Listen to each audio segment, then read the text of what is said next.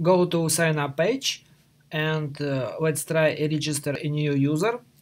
Here. For example, Maria. Maria mail.com password. Password. Agree to our policy register now. Nope it's not working. It's require a reCAPTCHA response. Let's try to sign up again. Maria.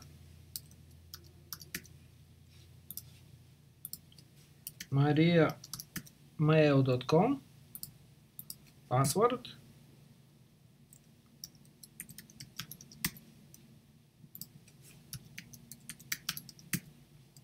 please agree to our policy.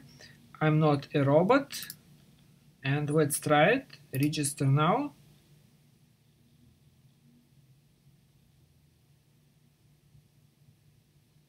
As you can see no messages uh, require captcha. it's it means uh, we registered successfully to our application. Let's check our database open your Sequel Pro refresh it. As you can see we have mariamail.com and name. So our captcha is working.